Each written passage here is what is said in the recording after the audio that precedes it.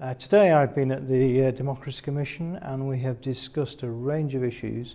from the different uh, types of local government uh, structures through to how do members engage with their communities, how the new regional structures will impact both on those roles but also on communities and how the council can change its approach to